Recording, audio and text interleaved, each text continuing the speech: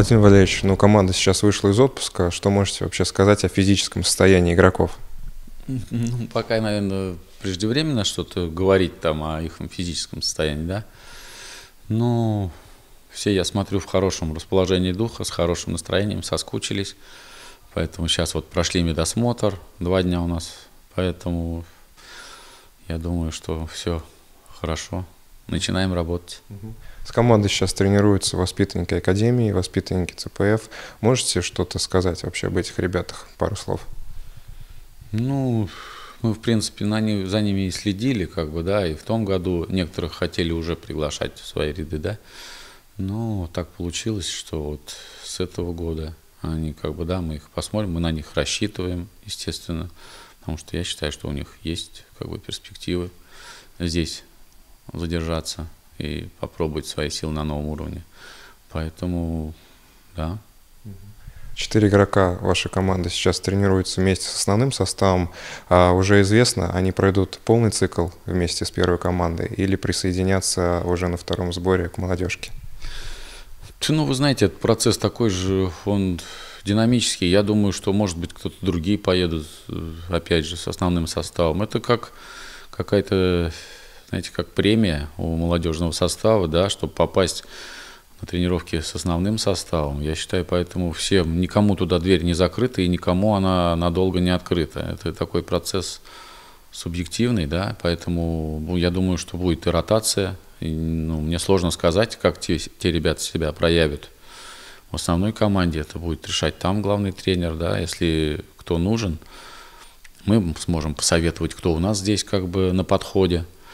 Поэтому изменения могут быть, и, может быть, кто-то с нами поедет на второй сбор, а кто-то, наоборот, отсюда поедет с основным составом. Это возможно. Нападающий Егор Галенков был вызван в юношескую сборную, однако уже на второй тренировке получил травму. Можете сказать о его состоянии вот нынешнем? Ну, что-то говорит, там серьезного, по-моему, так ничего нет, как бы, да, там микроповреждения, там мышцы, поэтому как бы что, будем восстанавливать, ничего, это такой, вы знаете, процесс, ну, в футболе это футбол, как бы, да, и никто от этого не застрахован. Конечно, это ну, нежелательно, особенно в подготовительный период, там какие-то получать травмы, да, но это вы за сборную, опять же, там, может быть, не знаю, насколько, как это получилось, я как бы не владею информацией, да, но я думаю, что мы его восстановим, я думаю, что ко второму-то сбору он точно будет уже готов, и я надеюсь, что поедет с основной командой. Сейчас команда тренируется в Самаре, однако совсем скоро уже отправится в Крым на свой зимний сбор. Можете отметить основные как бы, плюсы подготовки именно в Крыму? Почему было выбрано это место?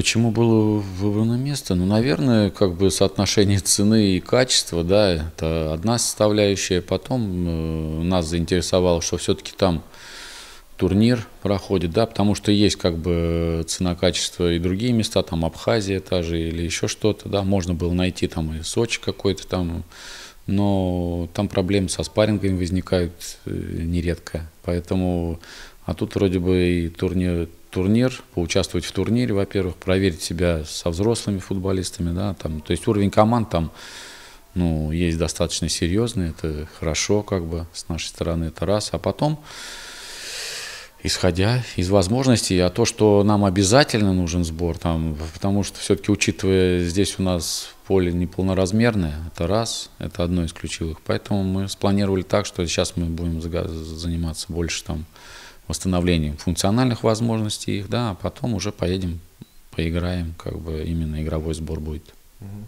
А, несмотря на то, что сейчас как бы сборы только начинаются, тем не менее, какие цели, задачи стоят перед командой уже на весенний отрезок первенства? Да какие цели задачи? У молодежного состава, я считаю, цели задачи совершенствовать их мастерство. Да? Я уже в спорте же всегда то, что было вчера, это уже как бы было вчера. И это я вот сегодня на собрании ребятам скажу, что все, надо идти дальше, вперед, вперед и от игры к игре. Я не хочу, чтобы мы там что-то планировали, какие-то занятия мест, да. Нам важно каждую игру прибавлять именно в игре, в качестве игры и за счет этого добиваться результата положительного для команды.